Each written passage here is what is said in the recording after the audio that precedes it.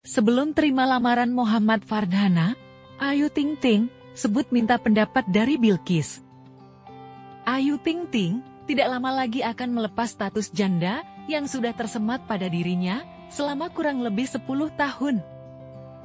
Seperti diketahui, dia sudah dilamar oleh seorang perwira TNI bernama Letu Muhammad Fardhana. Ayu dan Fardhana saling kenal pada Januari tahun 2024 melalui proses perjodohan oleh orang tua kedua pihak. Pelantun lagu alamat palsu itu mengungkap perasaannya setelah dilamar sang kekasih. Saat ini, Ayu seolah masih merasa tidak percaya akan menikah lagi. Lumayan lama sih ya sendiri jadi kayak mimpi aja. Ada seseorang yang datang di kehidupan kita kan pasti beda. Karena sudah lumayan lama nih, kalau bisa dibongkar udah banyak laba-laba haha, papar pedang bet 32 tahun itu. Dia juga menceritakan proses perjodohan yang dilakukan oleh orang tuanya. Awalnya, mereka dikenalkan dan ternyata menemukan kecocokan. Ia dijodohin, itu betul, dikenalin sama orang tua. Kalau dikenalin kan ya wajar sama, siapa aja. Cuma kan tergantung dari diri kita masing-masing, bisa lanjut atau tidak itu tergantung dari kita masing-masing. Kebetulan, Alhamdulillah cocok jadi lanjut, ungkapnya. Ternyata sebelum menerima pinangan pria yang berpangkat letu tersebut, Ayu sempat berdiskusi terlebih dahulu dengan Bilkis.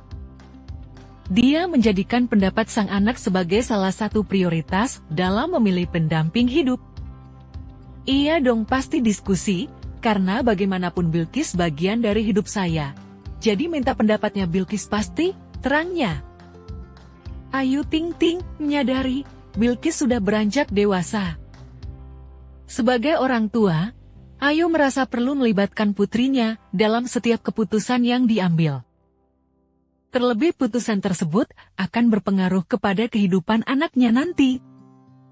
Karena Bilkis sekarang sudah 10 tahun mau 11 tahun, jadi dia sudah mulai dewasa, sudah bisa membuka hati.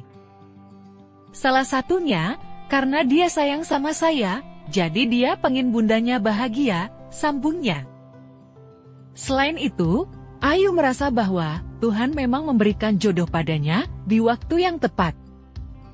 SAT ini, putri semata wayangnya itu juga sudah mulai membuka hatinya.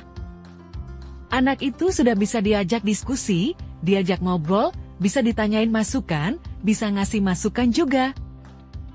Jadi ya mungkin ini yang tepat, ketika Bilqis sudah mengerti, sudah lebih dewasa, jadi gampang menerima, ucapnya.